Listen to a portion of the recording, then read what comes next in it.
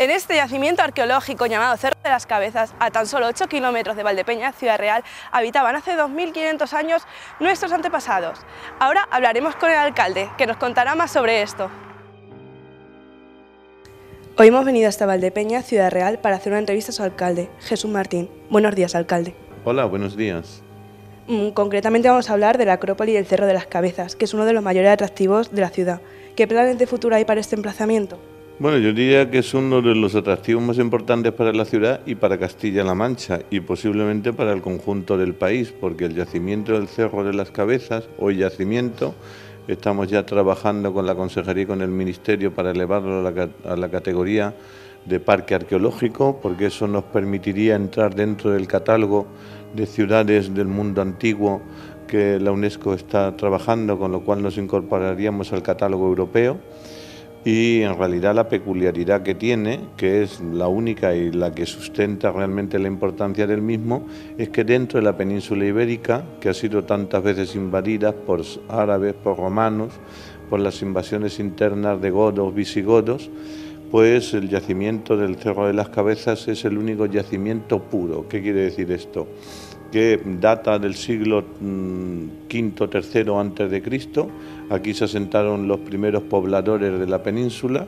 Nos ha dado como referencia a través de las excavaciones que ya 500 años antes de Cristo había un mercado interior desde el Mediterráneo a través del mundo fenicio y que, mm, bueno, es un yacimiento que es una incógnita todavía por resolver, que curiosamente, dado el asentamiento que tiene, que es a las puertas de las estribanías de Despeñaperros para el centro de la meseta o de, la, de, lo que hoy es eh, Castilla-La Mancha, pues es un yacimiento que por lo que fuera fue abandonado, sabemos que muy deprisa, que fue quemado posiblemente por los propios pobladores, con lo cual ahora solamente hay que levantar las cenizas y nos sale toda la historia.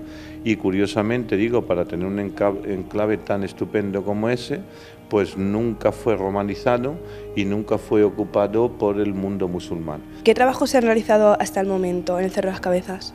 Bueno, se, ha realizado lo que se ve. El yacimiento se descubre curiosamente un poco antes del año 92 con motivo de la construcción del eje de la Autovía Nacional Cuarta, cuando quitando, bueno, duplicando lo que era la antigua carretera nacional que bajaba de Madrid hacia Andalucía, al hacer el segundo carril, pues aparecen unos vestigios y ahí hubo la delicadeza, la sensibilidad por parte de todas las administraciones de desviar en esa parte lo que es hoy la Nacional Cuarta, porque empezaron a salir eh, restos arqueológicos del mundo íbero. En aquel momento mm, lo que se hizo fue que el terreno fuera de titularidad pública, con lo cual la Junta de Comunidades de Castilla-La Mancha adquirió toda la superficie del yacimiento y con posterioridad el ayuntamiento ha ido incorporando terrenos públicos para dar servicios al yacimiento, en este caso el parking, una serie de instalaciones de naves de trabajo para que todo el material que salga del yacimiento no se contamine mm, fuera del yacimiento y in situ se pueda lavar, catalogar y datar las piezas que se sacan.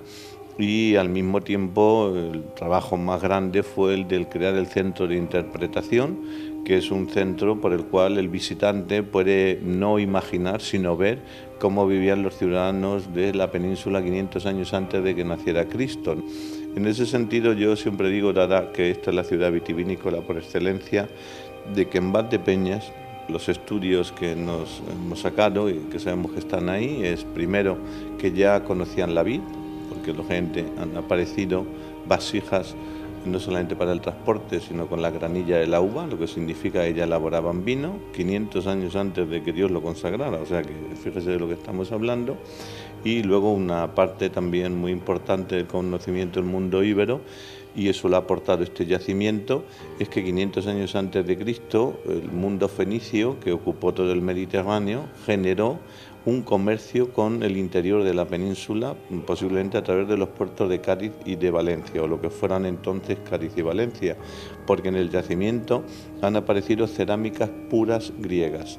Luego, si hay vasijas griegas, es porque el comercio del Mediterráneo hacia el interior de la península ya generó eh, digamos, un mercado exterior donde supuestamente cosas de aquí saldrían para allá y el mundo mediterráneo, claro, entonces no había cajas de cartón, había vasijas de, de barro, ¿no? Y el hecho de que aquí aparezcan cerámicas griegas puras, pues significa que, o data, o da fe de que mm, esto del comercio a través del Mediterráneo no fuera ayer. Con todo lo que usted me ha dicho, eh, ¿considera que se ha invertido lo suficiente en este yacimiento? Bueno, nunca se va a invertir lo suficiente. Le he dicho que llevamos un 10% excavado, ¿no? El yacimiento, el Ayuntamiento y la Junta de Comunidades eh, tiene convenios eh, unilaterales y bilaterales con 15 universidades del mundo, americanas, europeas, españolas. Eh, cada verano se hacen campañas y claro, es muy multidisciplinar. Vamos a, llegar a algún momento a saber todo lo que hay. Pues mire, a lo mejor dentro de 300 años sí, pero el mundo de la arqueología es muy lento porque no se trata solamente de hacer excavaciones, se trata de consolidar lo que sale para que una vez que se saca la luz no se destruya. Luego son trabajos muy lentos y en este caso no es una cuestión de dinero sino de paciencia. Si se tuviera hoy un presupuesto específico, por muy grande que fuera, para meternos a saco en el, en el yacimiento, lejos de ayudar, digamos que destrozaríamos todo lo que fuéramos haciendo. Hay que hacerlo cuadrícula, cuadrícula de 3x3, estudiar todos los materiales.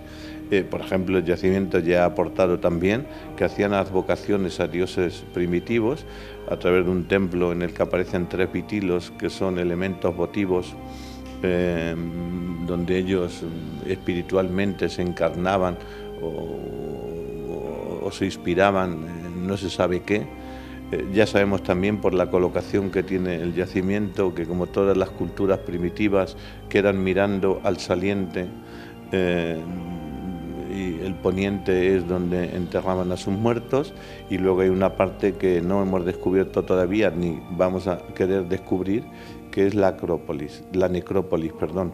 Sabemos que por el tamaño del yacimiento no debe de haber solo un cementerio, debe haber como mínimo dos o tres y ahí hay que tener mucho cuidado porque el mundo íbero enterraba a sus muertos eh, en urnas funerarias eh, muy potentes. La Dama de Elche es una urna funeraria íbera, entonces, dada la potencia que tiene el yacimiento, no tenemos ninguna prisa por descubrir dónde están los enterramientos, porque entonces necesitaríamos aquí un destacamento de la Guardia Civil para evitar el expolio. Eh, en fin, son estudios, como le digo, que cada piedra que sale necesita un estudio de muchas disciplinas, de carbono, eh, de elementos, de vegetación. Eh, y en ese sentido hay una incógnita también. Aparecieron dos jóvenes entre 18 y 30 años, creo que es, decapitados. Sabemos que el mundo íbero no hacía sacrificios humanos, con lo cual no sabemos si se trata de una lucha de dos amantes, por ponerle un poco de romanticismo, o realmente se trata de una ejecución por los motivos que fuera. Y por lo tanto, cuando eso se descubre hay que pararse y hacer los estudios permanentes antes de ir avanzando. Así es que el yacimiento no es una cuestión de dinero, es una cuestión de paciencia y de conocimiento para que conforme vayamos avanzando, vayamos consolidando toda la documentación que el cerro aporta. Pues muchas gracias, señor alcalde. Muchas gracias a ustedes.